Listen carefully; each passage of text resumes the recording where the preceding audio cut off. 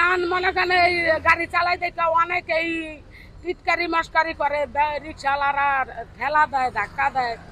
সিএনজিওয়ালারা মনে করেন পছন্দ করে না। পুলিশে এমনি ধরে ঠরে না আমারে, কিন্তু দেখলে সাইড সুইট দেয়।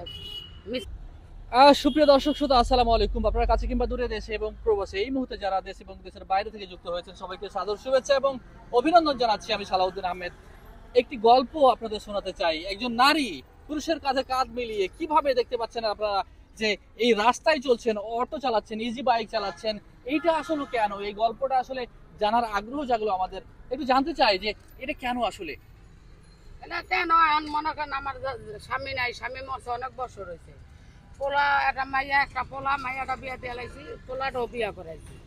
এখন মনে করেন সংসারের অভাব সব কিছুর দাম বেশি। মনে করেন পোলার কামাই দিয়া সংসার চলে না ঘর ভাড়া দিয়া পোষাই তারে না জীবও গো তো টাকা পয়সা লাগে নাই নাতকুর আছে দুইটা লেহা পড়া হিজান লাগে। অন অ- মনে করেন একলা পারে না বিদায় মানে আমার রাস্তায় নামতে হয়েছে নিজেরও তো আমার খরচ আছে, নিজেরও তো চলা লাগে। এই দুঃখেই মনে করেন অন কোনো কাম কাজ তো আর পাই না। গার্মেন্টসে মোড়া বয়স্ক দেখে লয় না।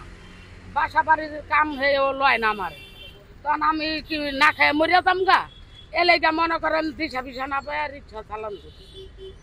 এই যে রিক্সা চালাচ্ছেন এতে করে কোন কোন প্রতিবন্ধকতা শিকার হতে হচ্ছে? কোন কোন বাধা আসছে আসলে?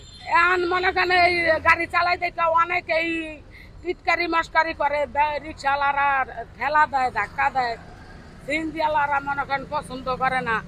পুলিশে এমনি ধরে ঠরে না আমারে কিন্তু দেখলে সাইড সুইট দেয়।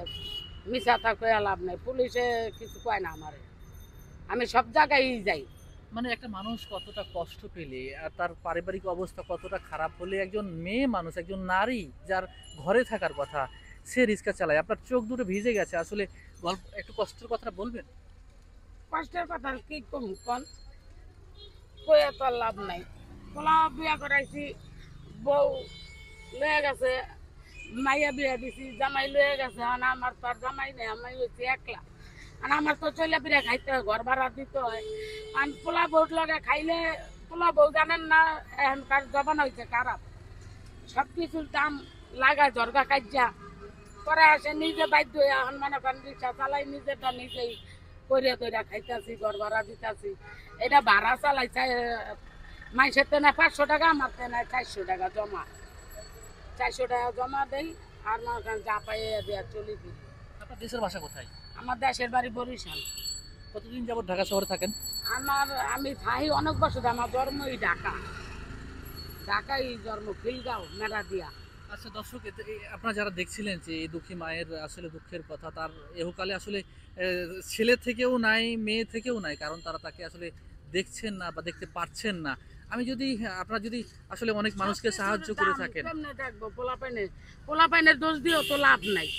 আন পোলা কাম করব দশ টাকা এর খরচ লাগে বিশ টাকা।